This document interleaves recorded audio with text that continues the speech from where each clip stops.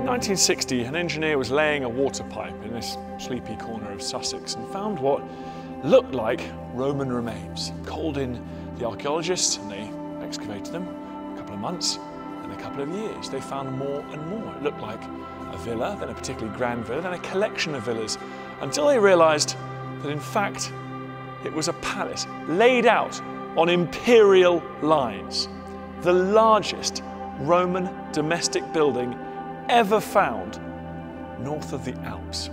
Today it's known as Fishbourne Palace, and the footprint is comparable, maybe slightly even bigger, than Buckingham Palace.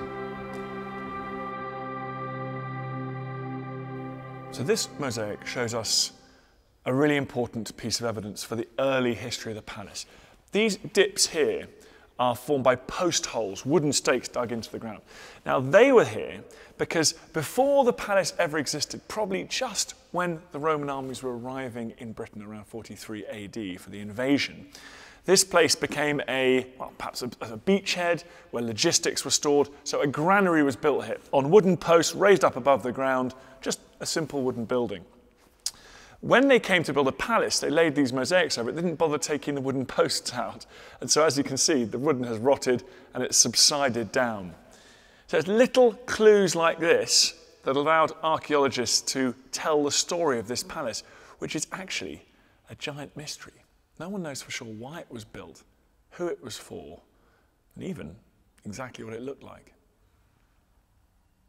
This next group of mosaics is really important because these are the earliest mosaics ever found in Roman Britain. They tell us a lot about what the palace, this vast, enormous building, was used for.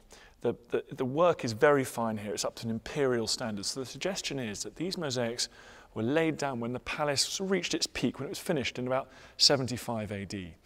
Perhaps they tell us a bit more about what this palace was for. Was it a grand imperial residence, perhaps for a, a, local chieftain who'd sided with the Romans during the invasion and was being lavishly rewarded by the emperor. Certainly in its layout, it's similar to a vast imperial palace, something found elsewhere across the empire. It was an important center of administration and royal rule.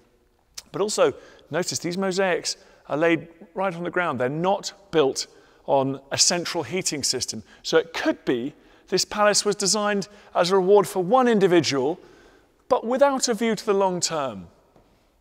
Mysteries abound at Fishbourne Palace.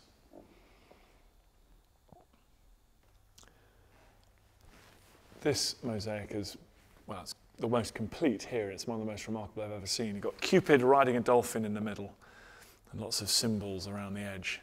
It's suffered some subsidence in the middle, but it's amazing how well it's lasted all these years.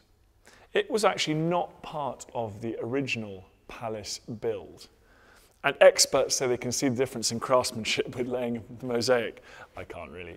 But uh, apparently this was built towards the end of the second century, so around about 100 years after the palace was built. So although much of the palace seems to have fallen into a bit of disrepair after that initial burst of activity in 75 AD, there were still building works and improving works going on 100 years later. So somebody was living here.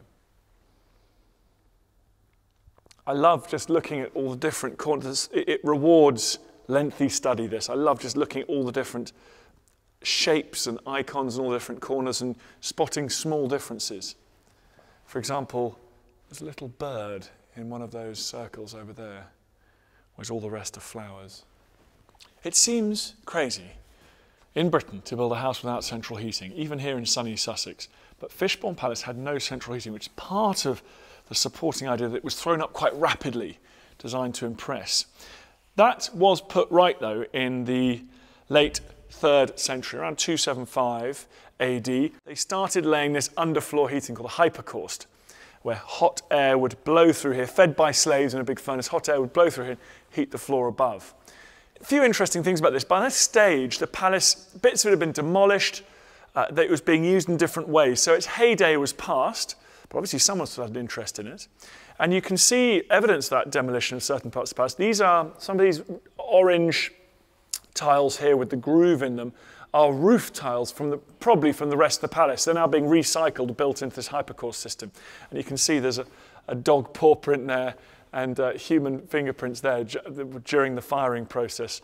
These, uh, they would have made their mark. This, this hypocaust, this central heating system, was never completed because in around about 280, a fire seems to have destroyed much of the palace and it was never properly reoccupied after that. We don't know what caused the fire. Was it an accident? Was it a mistake by the central heating engineers? Or was it one of the raids that we know were sweeping up and down the south coast of England in that period as seaborne raiders from across the North Sea started to attack the rich pickings of the Roman Empire? It's just another one of the mysteries that surrounds this incredible palace.